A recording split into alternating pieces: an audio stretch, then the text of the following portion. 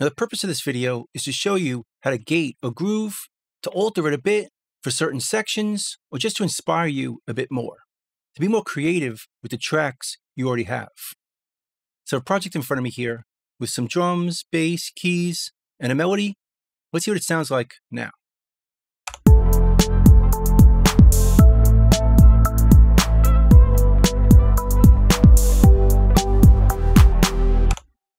To solo each instrument, here's our drums, here's our bass, here's our keys, and here is our melody, which has a delay on it with some EQ or filter, a panner, and a distortion fuzz. Let's hear it.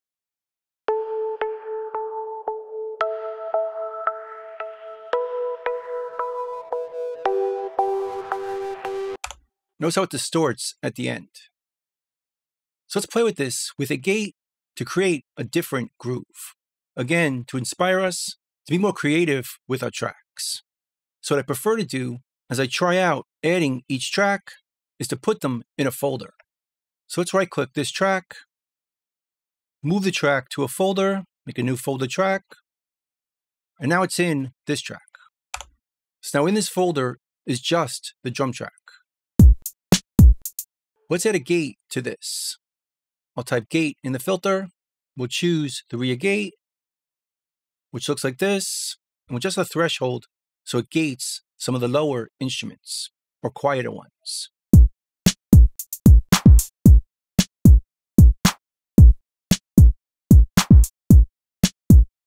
Before and after. Just cuts off some of the quieter hits. So let's hear that with the track.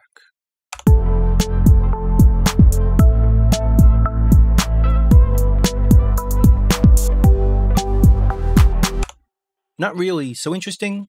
Let's try adding a delay to this.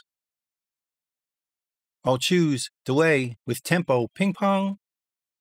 Let's set it to be a half note and sound like this.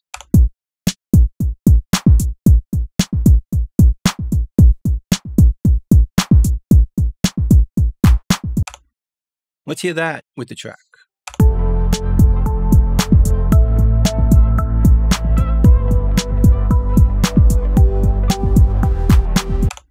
Pretty cool. And again, before, it sounded like this.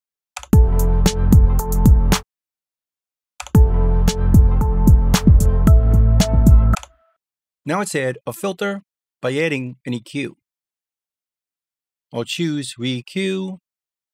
Let's delete these other bands and start out filtering out the low end.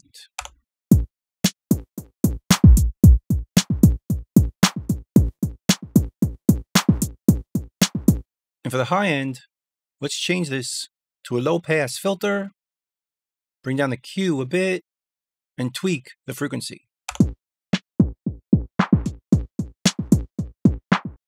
Let's give it some movement by touching this last touched parameter and turning on parameter modulation.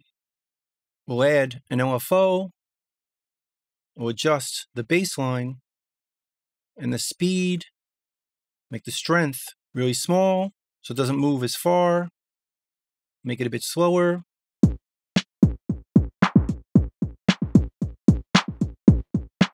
Before and after. Just gives it a filtered effect. Let's hear it with the track.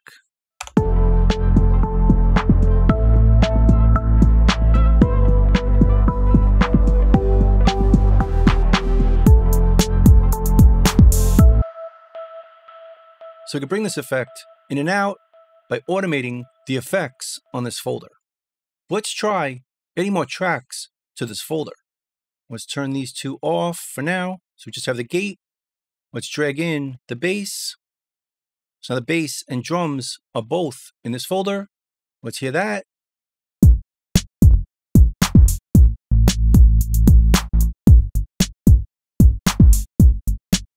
And we can also bring up the hold to hold the gate open longer.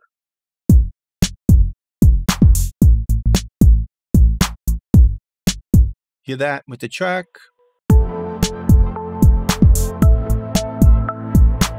Let's also try adding a delay.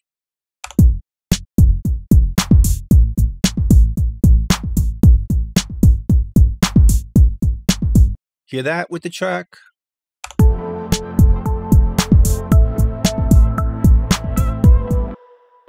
And finally, our filter.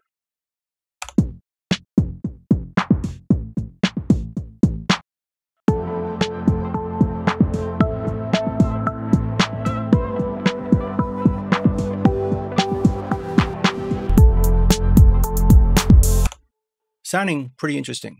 Let's try a few more, bringing in one track at a time. We'll start with the keys, drag it up into the folder. Let's hear just the gate.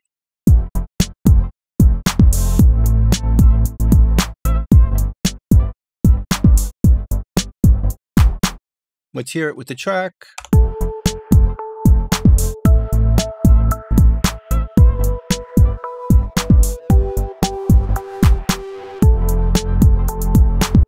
Let's bring in the delay.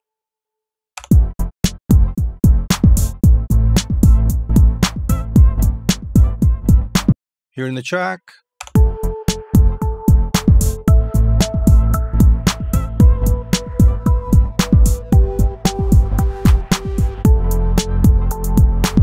And finally, our filter.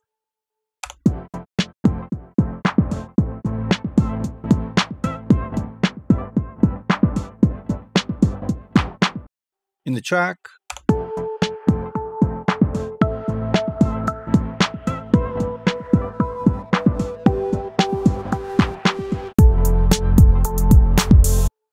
Notice how different each version sounds, and we could use different versions throughout the song. But let's bring in our melody next, drag it in to the folder. But notice we're leaving off the delay. We'll add that in later as it's going to sound a bit different. Let's hear it with just our gate.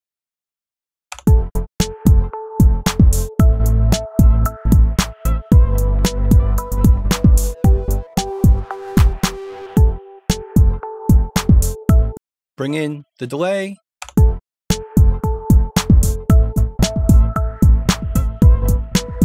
And the filter.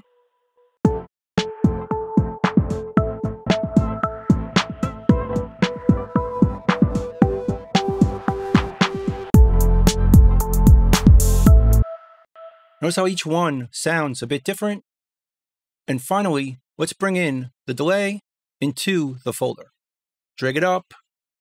Now everything is in the folder and should be affected by the effects on this track. Let's start with the gate.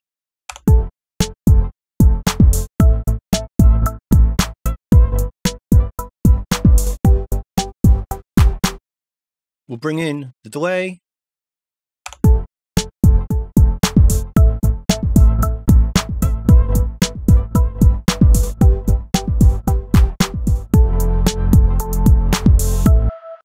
finally, let's try out the filter.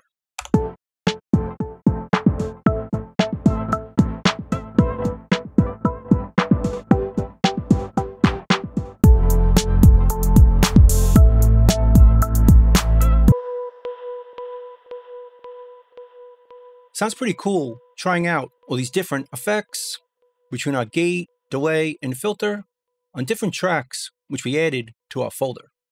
And trying each one out can create some breakdowns or different vibes in different parts of the song. Maybe a verse or a breakdown verse. And obviously, it's going to be different for your tracks, but it's kind of fun to play around with. Our gate, a delay, and an EQ. And of course, any other effect you want. So that's pretty much it.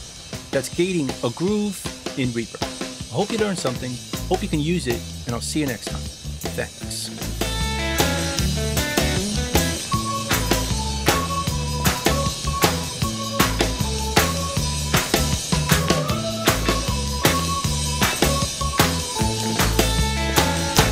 Bingo, boys, let's go.